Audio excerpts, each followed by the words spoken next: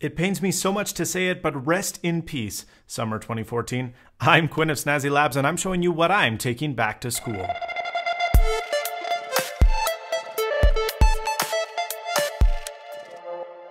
Backpacks are a necessary evil. At least that's what I think. While they're very functional at allowing us to tote stuff from point A to point B, they all look the same, and none of them look that cool. That is until now. This backpack comes from a company called Solid Gray from the Netherlands, and they make a backpack that makes people ask me every day, what the heck is that? It's kind of a futuristic mix between uh, Stormtrooper, Teenage Mutant Ninja Turtles, who knows what. Now, I'm not going to go into too much detail on the backpack because a review will be coming in the next couple of days. However, this is something that absolutely turns head and is really rather functional with its copolymer rigid construction, and I just love it. That being said, the good stuff is on the inside. As you can see, the backpack has a lot of space for textbooks and all sorts of stuff. This year, I made the change. I am 100% ebook textbook, and I'll get into that in a minute. But the pen that I use and love with all of my heart are these pens from TŪL. I think they're actually like a rebranded Office Max pen. I don't know. They're pretty expensive, but I love them to death, and they write amazingly. Now, since I'm going all digital, I don't have any notebooks, so I have a couple loose pieces of paper just in case I need to jot something down. My MacBook and my iPad can easily go a whole school day without being charged. My phone, however, especially during testing times where I'm in the library, sometimes doesn't make it, so I've got a couple backup cables. Now, my headphones for walking around campus and studying those late nights in the library are from a company called Accidentally Extraordinary. These are the Studio 51 headphones, and they sound a dream.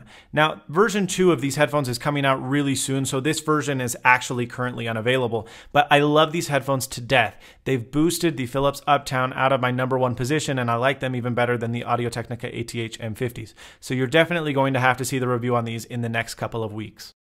No, your eyes do not fail you. That actually is a Barnes & Noble Nook. Now, you may be thinking, why do you still have that? I love my Nook. It's not so much that I love the Nook itself, but I love e-ink readers because you can read books. It's not fatiguing to the eyes. It's not a bright screen. It's perfect. I love it, and I won't be replacing this anytime soon.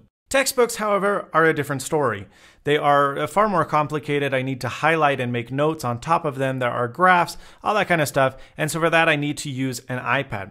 Now, surprisingly enough, all of my college textbooks are available on an e-reader format this year, which is pretty awesome.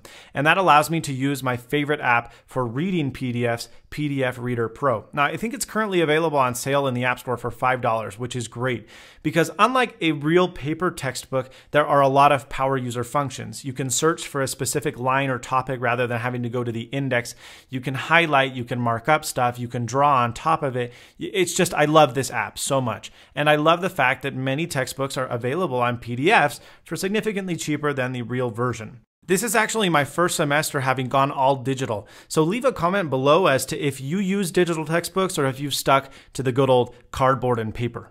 Unfortunately, one of the textbooks that I use, it has a DRM digital format, blah, blah, blah, blah, blah. Anyways, I have to download the official Kindle app to use it, which is a bit of a downside. I may end up buying just the regular paper textbook. Now, this is my 11 inch MacBook Air and I love it to death. Now, many will quickly say that it has inferior processing speed and resolution to the MacBook Pro, and I know. But I love this uh, computer because it's so thin, it's so light, it has a full size keyboard, and it is perfect for college. Perfect for taking notes, for doing quick web browsing. I, I, I love it. I love it. Now, the real struggle has been finding a worthy note taking app for Mac, and I've settled with Ulysses.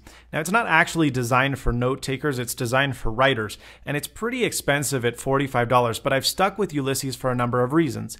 Its organization tools are great, and it has a really powerful search, which is great at the end of the semester when you have to reference through 80 pages of notes. Furthermore, it supports Markdown, which I just love to death. If you don't know what Markdown is, please check it out, it will change your life. Hopefully some of the stuff I mentioned you can actually implement into your own school workflow. Please leave a comment below with your college setup, what you're bringing to school. Thank you so much for watching. Please subscribe, rate, comment, and as always, stay snazzy.